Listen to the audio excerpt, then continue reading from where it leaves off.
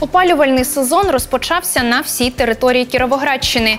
В керівництві області нові кадрові призначення, а у Кропивницькому писали диктант єдності. Про ці та інші події тижня розкажемо у цьому випуску. У студії телеканалу Вітер для вас працює Анна Гончаренко. Вітаю.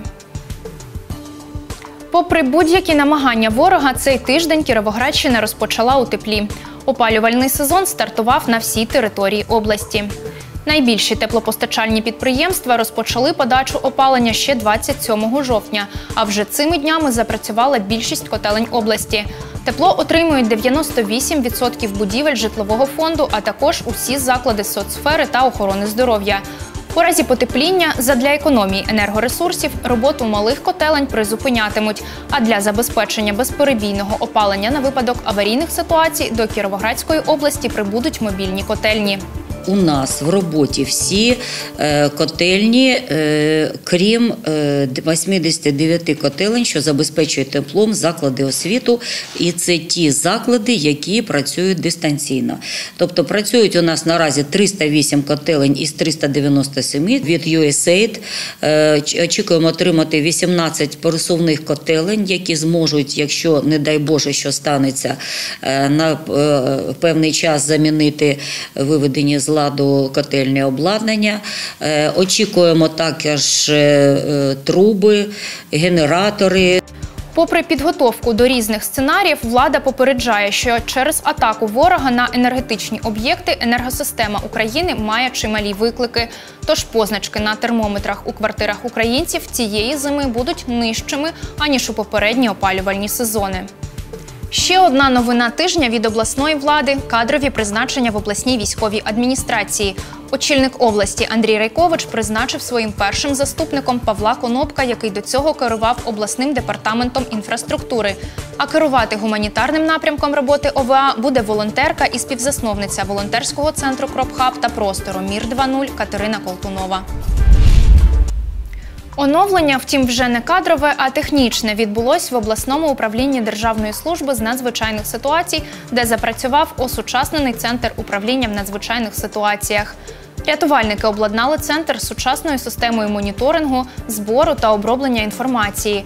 Тож відтепер дані про надзвичайні події в управлінні ДСНС отримують в режимі реального часу і таким чином можуть швидше та ефективніше реагувати на них.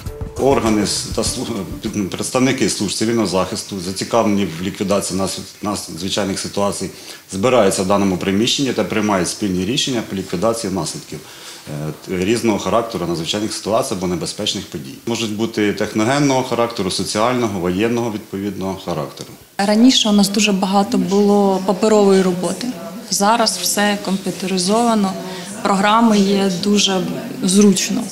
Три монітори, і ти бачиш всю е, ситуацію. Можеш не треба журналів куча. Цієї неділі, 13 листопада, відзначатимуть Міжнародний день незрячих.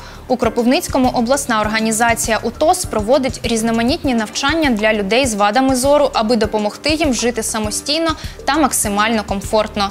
Чи вдається це і наскільки дружнім є світ до незрячих людей, намагалася розібратися наша журналістка Марія Матюнькіна. В обласному УТОСі проводять курси з читання шрифту Брайля для незрячих. Їх викладає Інна Криворучко. Жінка має інвалідність першої групи позору. З дитинства в мене поганий зір. Я навчалася і в спеціалізованій школі в Харкові для людей з вадами зору в інтернаті Короленка. У мене вся група була з гарним зором, але ну, це мені в принципі не заважало. Вони всі допомагали і всі мене підтримували. Читати шрифтом Брайля Інна навчила ще в дитинстві. Згодом незрячі знайомі жінки почали звертатися до неї з проханням навчити їх. Так Інна стала викладати. Складність вивчення шрифту полягає у тому, що у людей з порушенням зору менш чутливі руки, тож їм складно відрізняти рельєфні позначки. Зараз під керівництвом Інни навичку читати руками опановує Григорій Євгенович. Чоловік втратив зір через хворобу рік тому. Попри це, продовжує працювати головним інженером у бібліотеці Чижевського. Поки що кажуть, не звільняйся. Хоч я і отримав вже інвалідність, там другу форму інвалід, чи як вона, другу групу інвалідності. Не звільняйся, тому що е, без тебе ми поки що не можемо обійтися. Ну, за допомогою, звісно, деяких співробітників, які рядом десь мені кажуть, що там а я їм кажу, що треба зробити. На жаль, працевлаштованих, як Григорій Євгенович, серед людей з вадами зору небагато. Два роки тому Кропивницьке підприємство, працівниками якого були незрячі, припинило роботу.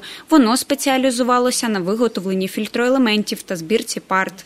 У радянські часи в Україні було лише два таких виробництва. Проте з часом їх витіснили підприємства-конкуренти. Наші люди зараз обмежені у в праці. Тобто зараз більшість наших людей перебуває у відпустці без збереження заробітної плати. Тому правління первинної організації зараз ну, всі свої зусилля докладає для того, щоб надати людям якусь матеріальну допомогу, ну за допомогою волонтерів, там благодійних фондів і так далі. Нині в області проживає 1249 людей з вадами зору. Обласна організація УТОС допомагає їм працевлаштуватися. Однак знайти роботу незрячим важко, констатує керівниця організації. Ми працюємо з центрами зайнятості і просто ми працюємо напряму з, е, з ем, приватними підприємствами, які готові взяти наших людей з інвалідністю по зору. Ну, частіше всього, це люди з інвалідністю третьої групи. Тому що перша, друга група це з ними важкіше, їх важче працевлаштувати. Від них треба ну, якби місця робити спеціальні. Водночас робота вкрай необхідна людям зі слабким зором не лише аби заробляти, а й щоб відчувати свою користь для інших, говорить Інна Криворучко. Якщо ти знаєш щось, ти можеш якимись своїми навиками поділитися і комусь бути корисним. Міжнародний день незрячих відзначається щороку 13 листопада, аби привернути увагу суспільства до проблеми людей, які назавжди втратили зір. Марія Матюнькіна, Сергій Баранюк, телевізійні новини СІБІН. Ще одна подія цього тижня День української писемності та мови, який відзначається 9 листопада. Символічною традицією цього дня є написання диктанту єдності. Щороку в прямому етері відомі українці читають авторські тексти, а охочі по всій країні пишуть диктант та перевіряють свої знання рідної мови. Традицію не порушили і цього року. В обласній бібліотеці Чижевського у Кропивницькому диктант писали з півсотні охочих. Серед них військові, митці, представники влади та студентська молодь. Яким був текст диктанту цьогоріч? Дивіться у сюжеті. Твій дім такий заголовок цьогорічного диктанту національної єдності. Авторка тексту українська письменниця Ірина Цілик читала народна артистка України Ада Роговцева. Це місце сили і пам'яті роду.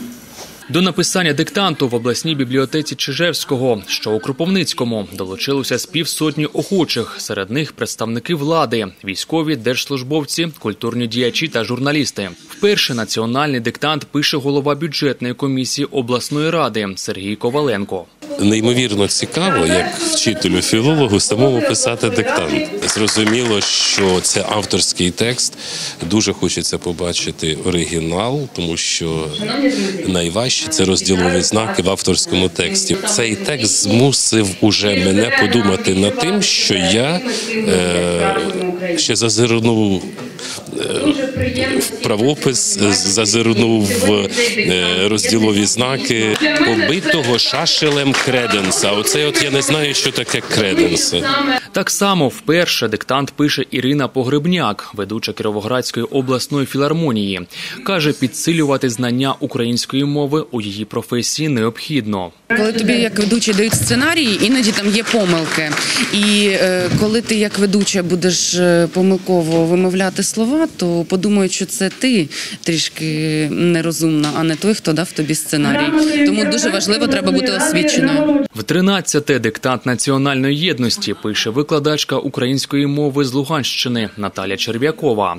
Згадує, зазвичай в цей день збирається з колегами і студентами Золотівського професійного ліцею та перевіряє їх роботи ще до офіційної публікації тексту. Цьогорічний твір про дім і рідну домівку вважає неабияк актуальним і зрозумілим для кожного українця. Всі ми маємо таку е, невизначену втрату. Наш дім він нібито є, але фізично ми туди потрапити не можемо. Е, Війна забрала в нас багато чого, але й багато чому навчила. Що треба цінувати те, що ми маємо, треба цінувати і берегти наше життя. Були е, правила оновленого правопису. Це дуже добре. Можна було їх вже впровадити, попрактикувати. Ось текст був хороший для написання, легкий. Жінка сподівається, що наступний день української писемності та мови відзначатиме уже в рідній домівці. Дочекається. Текст Твій дім опублікували 11 листопада. Тож тепер усі учасники диктанту можуть перевірити правильність своїх робіт. Олексій Меркулов, Анна Гончаренко, Юрій Коропалов, телевізійні новини СІБІН. Е, Я пишу диктант національної єдності уже третій рік поспіль. і Цьогоріч він особливий. Е, Я плакала уже починаючи з заголовка. Тож сподіваюся, що комісія, яка перевірятиме мою роботу, врахує мою чуттєвість. Остогидлі сусіди виставку під такою назвою презентували у музеї мистецтв, що у Кропивницькому. Експозиція об'єднала карикатури Олександра Чорного та фігурки Володимира Крутоуса. Вони висміюють російських окупантів. На відкритті побувала наша знімальна група. Героями карикатур Олександра Чорного стали переважно російські політики, лідери думок чи журналісти. Більшість робіт створені після їх недолугих реплік чи ситуацій. Є і малюнки, присвячені ЗСУ. Зокрема, один з них автор присвятив Дню Незалежності України. Ця одна із таких, знаєте, для мене, я б не сказав улюблених, але знакових, е, тому що довелося чітко промальовувати того песика патрона, якого полюбляють не тільки діти в Україні, а й дорослі. Олександр Чорний, кандидат історичних наук та викладач Центральноукраїнського державного університету. Він не професійний художник, втім малює з дитинства. 30 карикатур створив менш ніж за півроку. От карикатура вона якраз дозволяє натякнути, показати, висміяти. І це, до речі, робилося завжди, і в роки Першої світової, і в роки Другої світової війни. Дно вони пробивають регулярно. Ну а це є підставами для того, щоб з них в жорсткій формі постібатися. Поряд із карикатурами стенд з фігурками майстра Володимира Крутоуса. Їх представлено зо два десятки. Серед них є патріотичні сюжети, зокрема, як Україна їде на ведмеді. Ідеї інших композицій виникли після прочитання російських новин. Цікаві е, епічна бійка кадирівця і бурята за червоний бюстгальтер. Дуже епічна битва. Тоді буряти загинули. Коли я зрозумів, що я хочу допомагати донатити ЗСУ, а заробітки зараз трошки зменшились, ось таким чином я роблю свій внесок, тобто грошовий внесок, тому що люди замовляють такі роботи. Виставка триватиме у музеї мистецтв щонайменше місяць. Яна Семенюк, Анна Гончаренко, Сергій Баранюк, телевізійні новини СІБІН. Роботи, присвячені Україні та Кіровоградщині, зокрема, експонуються і у США.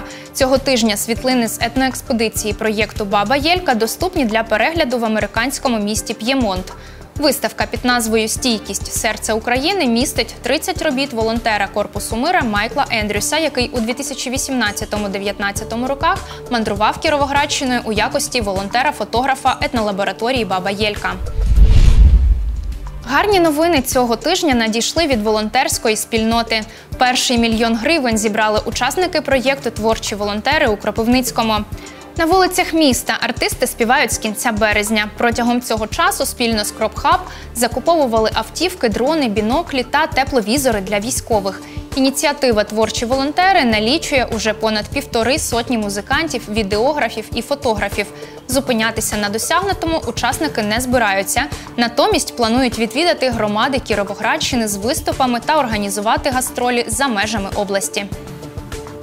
Ми за цей період не думали, що зберемо таку суму, але все ж таки мільйон ми нарешті це зробили. Я думаю, ще будемо працювати. Е, Хочемо, щоб побистріше закінчилася війна. Хочемо ще більше допомогти. Я думаю, це така акція, яка буде діяти і після завершення війни, адже багато е, моментів. е, Допомоги потрібно буде реалізувати. Це і реабілітація військових, і допомога, можливо, сім'ям військових. А поки війна не завершилась, на Кіровоградщині знайшли прихисток тисячі українців з фронтових громад.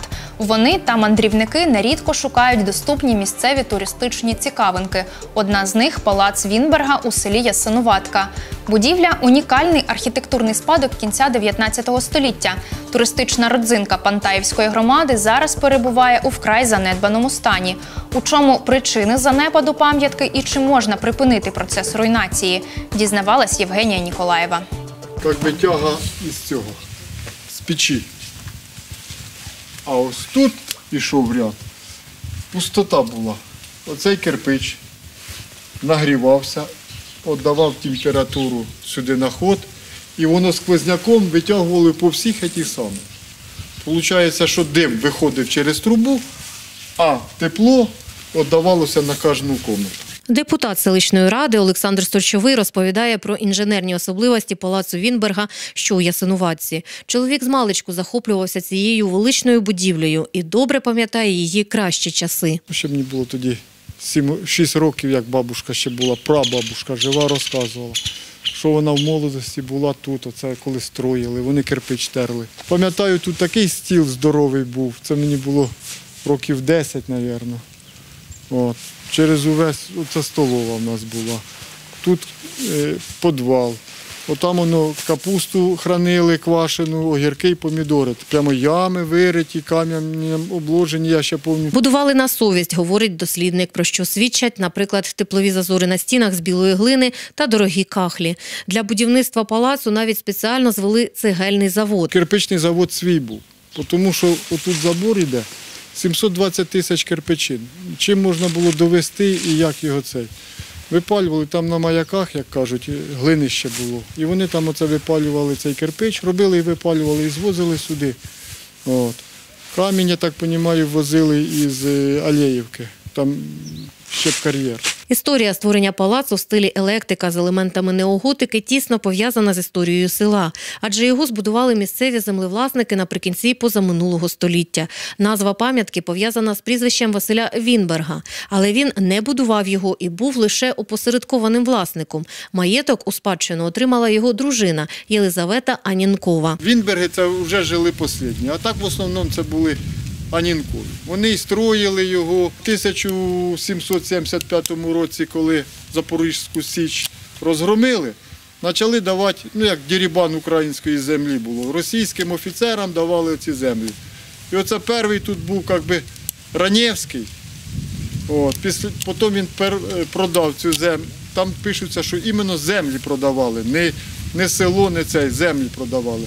Купив е, Чумпалов, була ясиноватка, потім стала вона Чумпалова, потім обратно ясиноватка. В роки червоного терору приміщення перейшло у власність совєтів. Спочатку його використовували як школу, а згодом в якості інтернату. Пізніше, вже після воєнний час, було побудоване нове приміщення для школи, а маєток використовувався як спальний корпус. На стінах і досі можна побачити вцілілі малюнки, що залишила в палаці радянська епоха. У 90-х роках інтернат закрили, а приміщення передали в оренду. В 97-му році тодішня Бандурівська сільська рада заключила е, акт договору про оренду з е, новоствореним жіночим монастирем. Все було добре до 2004 року, коли сталася пожежа, і на сьогодні те, що маємо, вже голі стіни як наслідок цієї пожежі. Саме після пожежі загадковим чином з палацу зникли ковані балкони і поручні, металеві балки і сходи. Зробили церкву,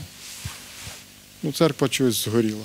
Хоч кажуть, що це місні спалили, ну це матушкина робота. От. Вона той металолом порізала, здала. Сама пішла, вона там далі жила, а це все здання згоріло. Бандурівська сільська рада колишня вона розірвала цей договір після цієї пожежі і заключила новий, новий договір із монастирем села Диківка. Новий орендар теж так і не дав ради приміщенню. Проте навіть у напівзруйнованому стані з непрохідними хащами, що ростуть просто з підлоги, палац і досі приваблює туристів, а особливо його загадки. Одна з них підземні ходи від будівлі. Ну, Там котел стояв, чи піч вірні стояла. А отут, де завалено, там був вход. Ну, треба вриватися в землю ще метра два з половиною до трьох. І тоді там вони заварені зараз. І оце ті хода йшли один туди, один в сторону Диківки і третій йшов в сторону школи. Вони рили прямо траншею, обкладали кирпичом повністю, потім засипали і трамбували. Палац має статус пам'ятки архітектури місцевого значення, однак це не рятує його від руйнування. Хоча в реєстрі є помилка. Записано маєток Вимберга, а не Вінберга. Зараз будівля належить Пантаївській громаді, до складу якої входить Ясинуватка. Тож виправити історичні помилки і вдихнути у будівлю нове життя завдання місцевої влади. Головне, щоб бюрократична тяганина не була сильніша за дією природних факторів, які руйнують пам'ятку. Євгенія Ніколаєва, Анастасія Гугленко, телевізійні новини СІБІН. Такими були головні події цього тижня. Більше новин шукайте на нашому сайті, Ютуб та телеграм-каналах. Бережіть себе. Побачимося у наступних випусках.